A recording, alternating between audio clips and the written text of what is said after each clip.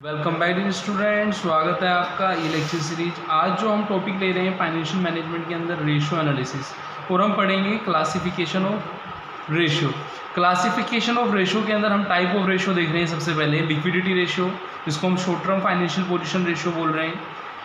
Solvency ratio जिसको हम long term financial position बोल रहे हैं. फिर उसके बाद है अपना एक्टिविटी या टर्नओवर रेशियो और लास्ट जो है अपना प्रॉफिटेबिलिटी रेशियो ये जो मैं रेशियो के यहाँ पे आपको टाइप्स बता रहा हूँ, ये रेशियो के क्लासिफिकेशन हम कुछ इस लेक्चर में पढ़ेंगे, कुछ आने वाले लेक्चर्स के अंदर पढ़ेंगे।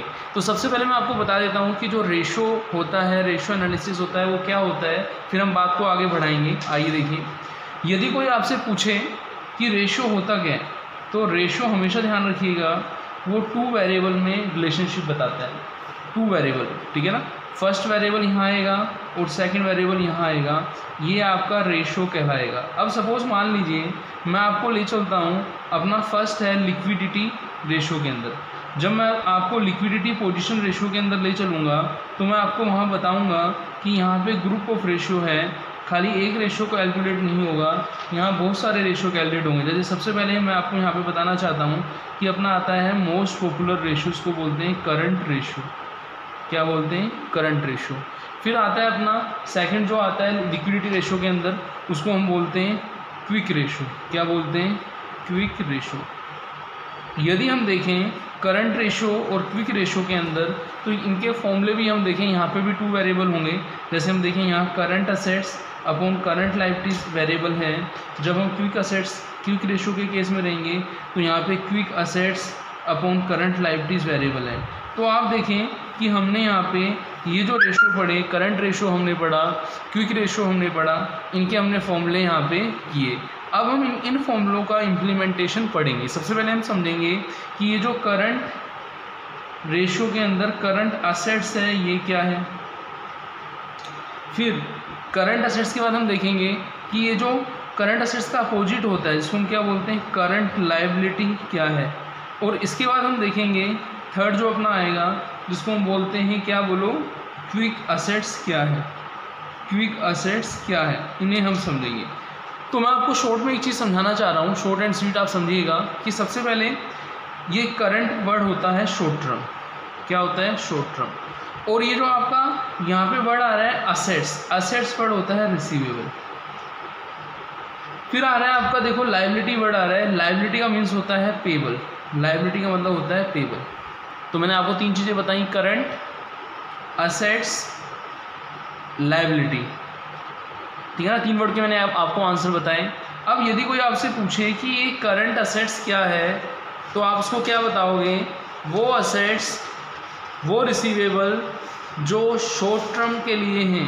करंट असेट्स का मतलब है वो असेट्स वो रिसीवेबल जो शॉर्ट टर्म के लिए हैं। यदि मैं यहाँ पे यूँ लिखूँ कि current means short term current means short term और असेट्स मीन्स मैं यहाँ पे लिख दूँ रिसीवेबल तो आप समझ जाएँगे कि करंट असेट्स जो हैं हमारी शॉर्ट टर्म रिसीवेबल होती हैं यस और नो और यदि मैं आपको एग्ज़ाम्पल लिखवाऊँ कि बच्चों, आप देखो कि जो हमारा कैश एट बैंक होता है कैश एट बैंक हम बोलते हैं कि बैंक में पैसा है, जिसको हम बैंक बैलेंस भी बोलते हैं कैश इन हैंड हम बोलते हैं कैश इन हैंड बोलते हैं, जिसको हम कैश बैलेंस बोलते हैं। ये हमारे असेट्स हैं कि नहीं है करंट असेट्स यदि हम करंट असेट्स का अपोजिट समझना चाहें कैश एट बैंक का तो उसका अपोजिट होता है शॉर्ट टर्म जब हम लोन लेते हैं बैंक से, जब हम हम करंट अकाउंट के अंदर लेते हैं तो उसको बोलते हैं बैंक ओवरड्राफ्ट क्या बोलते हैं? बैंक ओवरड्राफ्ट ऐसे ही मैं आपको बताऊँगा कि जैसे आपका डेटर्स है, जैसे बच्चों डेटर्स हैं डेटर्स जो है बेटा, वो आपका करंट असेट्स है तो इसका यदि हम अपोजिट देखें तो क्रेडिटर क्या होगा? करंट लाइबिलिटी होगा। क्या होगा? करंट लाइबिलिटी होगा। तो अब आपको करंट रेशियो जो है, वो समझ में आ जाएगा कि current short term assets short term receivable upon short term liabilities short term payable तो वो करंट रेशो कहलाता है। आपको समझ आएगा। ऐसे जब हम क्विक असेट्स की बात करेंगे तो ज़्यादा अंतर नहीं आएगा। आप समझिएगा, जब मैं आपको क्विक असेट्स के बारे में बताऊँगा तो वहाँ मैं आपको क्या बताऊँगा कि बच्चों, जो क्विक असेट्स होती है, इसको कैसे कैलकुलेट करते हैं क्विक असेट्स को?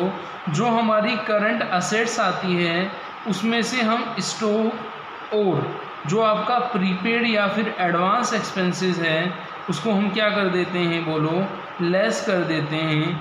तो वो क्या कहलाता है आपका बोलो? क्विक असेट्स कहलाता है। तो यहाँ पे मैंने आपको करंट असेट्स भी बताया करंट लाइबिलिटी भी बताया क्विक असेट्स भी बताया, जिससे हमारे ये दोनों रेशो हो जाएँगे। येस और नो बोलो, ये दोनों रेशो हो जाएँगे। ओके बेटा। अब हम क्वेश्चंस में चलते हैं। न्यूमेरिकल क्वेश्चंस को हम लेंगे। आज जैसे कि मैंने आपको बताया था कि आज हम जो है अपनी liquidity ratio short term financial position ratio जिसके अंदर हम करंट और क्विक रेशो के क्वेश्चंस को समझेंगे। आइए देखें। तो ये क्वेश्चन है हमारे पास। इसमें हमें दिया है कैलकुलेट करंट रेशो और इसमें मैं ऐड कर देता हूँ कि क्विक रेशो भी आपको कैलकुलेट करना है। अब हम देखें कि हमारी जो करंट असेट्स हैं, वो कितनी हैं और हमारी करंट लाइबिलिटीज़ जो हैं, वो कितनी हैं। फिर हम करंट रेशो निकाल लेंगे, बोलो बच्चों। यस और नो निकाल लेंगे ना? ठीक है? तो यहाँ पे मैं लिखने जा रहा हूँ। सबसे पहले मैं आपको समझाने जा रहा हूँ कि बच्चों, जो अपनी करंट असेट्स की यदि हम बात करें तो करंट असेट्स क्वेश्चन के अंदर कौन सी हैं? फिर मैं आपको बताऊँगा करंट लाइबिलिटीज़ कौन सी हैं। फिर अपना करंट रेशो हो जाएगा करंट असेट्स करंट लाइबिलिटीज़ को जब हम कैलकुलेट कर लेंगे। आइए देखिए। जैसे हम देखें इन्वेंट्री बताओ करंट असेट्स है फिर नहीं है, बताओ इन्वेंट्री जो इन्वेंट्री का अमाउंट है, ये करंट असेट्स है या फिर नहीं है? इन्वेंट्री बोल दो आप स्टॉक बोल दो करंट असेट्स है या फिर नहीं है? है। कितना अमाउंट है? फिफ्टी थाउज़ेंड ठीक है? फिर उसके बाद हम देखें ट्रेड रिसीवेबल जो है, जो ट्रेड रिसीवेबल है, आपका बताओ ट्रेड रिसीवेबल का मतलब है debtors and B R trade receivable का मतलब क्या हुआ आपका? डेटर्स एंड बी आर में ब्रैकेट में डेटर्स लिख देता हूँ और बी आर लिख देता हूँ तो कम्बाइंडली हम इनको ट्रेड रिसीवेबल कहते हैं। ये आपका कितना दिया है? फिफ्टी थाउज़ेंड फिर दिया है एडवांस टैक्स एडवांस टैक्स आपका प्रीपेड की तरीके से है। प्रीपेड बोल दें आप। एडवांस बोल दें। बात एक ही है। तो प्रीपेड जो है प्रीपेड टैक्स है एडवांस टैक्स है फोर थाउज़ेंड है। फिर हम कैश एंड कैश इक्विलेंट्स की बात करेंगे। Cash and cash equivalents cash and cash equivalents में जो आपके कैश एट बैंक इन सब चीज़ों को इंक्लूड करते हैं, ये है आपका थर्टी थाउज़ेंड यदि इन, इनका टोटल करें हम one lakh thirty four thousand आपका करंट असेट्स आएगा। यस और नो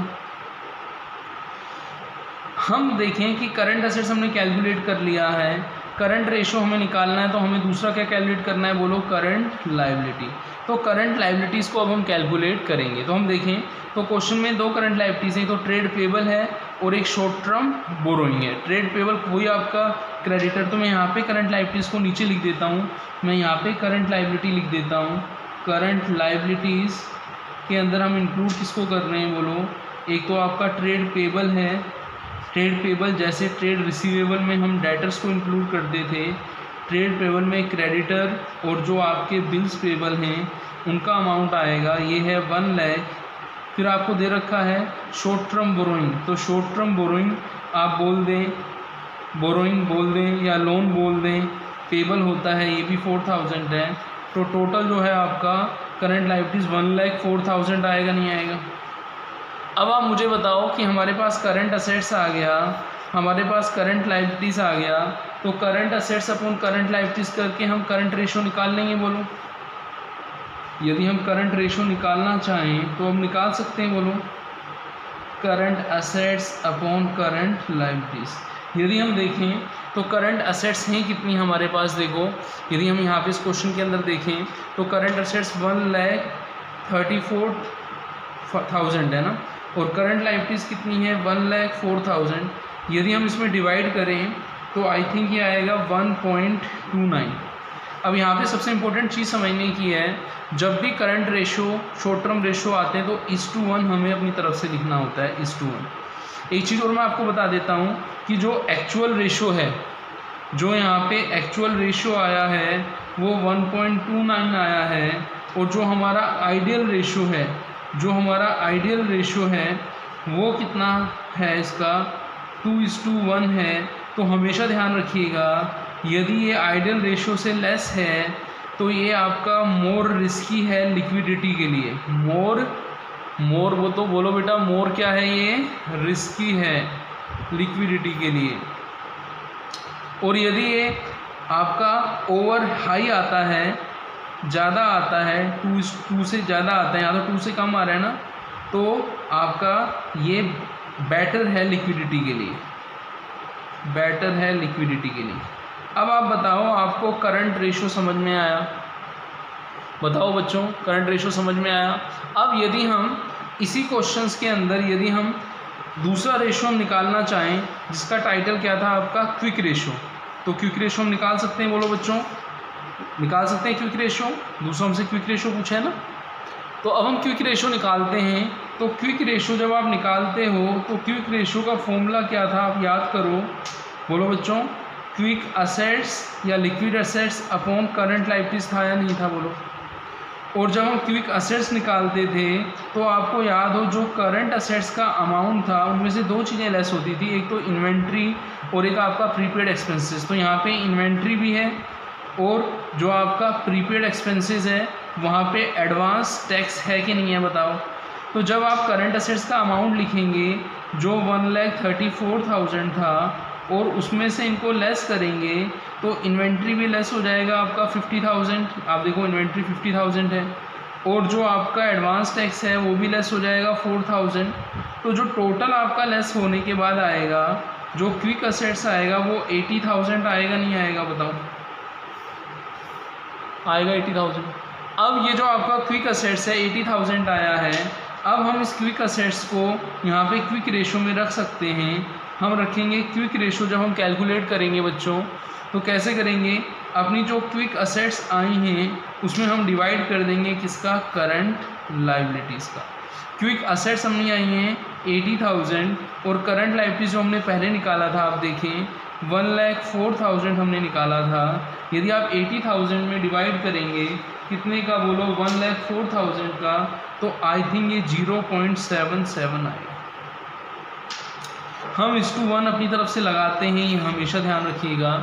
जब ज़ीरो पॉइंट सेवन सेवन आएगा तो ये एक्चुअल रेशो आया है आपका ज़ीरो पॉइंट सेवन सेवन जब हम आइडियल रेशो की बात करते हैं तो इसके भी आइडियल का मतलब होता है बेटा आदर्श। आदर्श। आइडियल रेशो की यदि हम बात करें तो इसका वन इस टू वन है। तो यहाँ पे भी वही कंडीशन लेस है या फिर मोर है।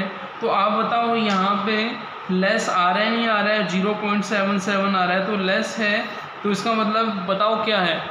जब आइडियल रेशो से लेस आता है एक्चुअल रेशो तो आपका क्या है बोलो? मोर रिस्की है। मोर रिस्की है। इसके अलावा हम ये भी लिख सकते हैं। मोर रिस्की है। इसके अलावा हम ये भी लिख सकते हैं। कि लेस लिक्विड है। बोलो लेस लिक्विड हुआ नहीं हुआ बताओ। तो हमने यहाँ पे जो फाइनेंशियल पोजीशन में शॉर्ट टर्म था, उनको हमने किया। इस क्वेश्चन की हेल्प से। करंट रेशो को भी समझा हमने क्विक रेशो को भी समझा। अब जब हम नेक्स्ट लेक्चर करेंगे तो उसके अंदर हम किसको समझेंगे बच्चों बताओ? अपना जो सोलवेंसी रेशो है long term financial position ratio है, उसको समझेंगे। तो मिलते हैं नेक्स्ट लेक्चर में। थैंक्स